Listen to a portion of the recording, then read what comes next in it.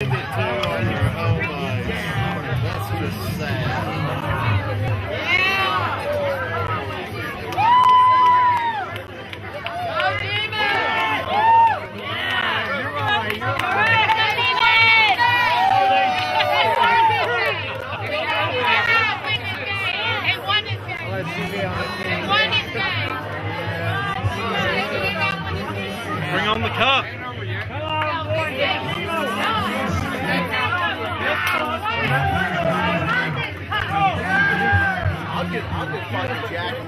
Watch that motherfucker just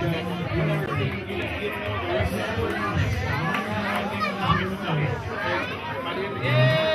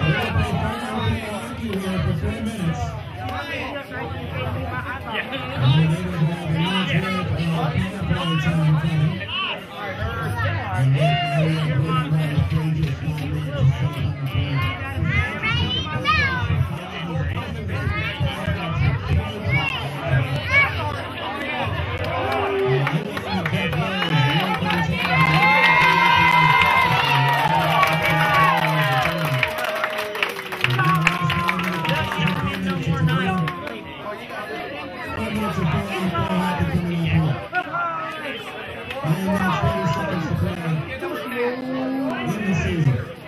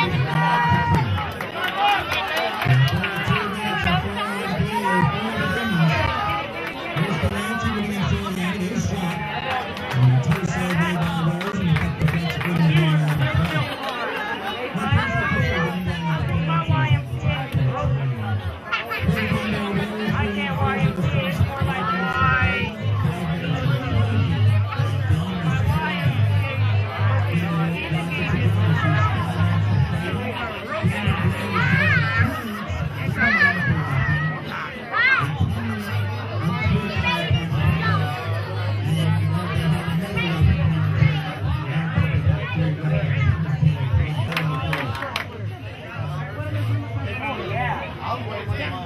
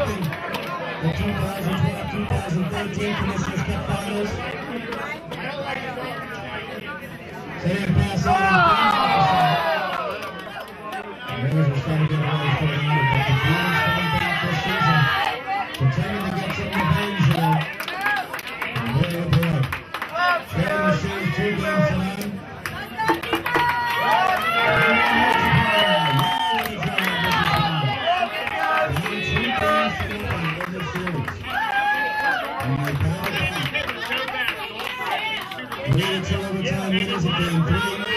Three run in game four.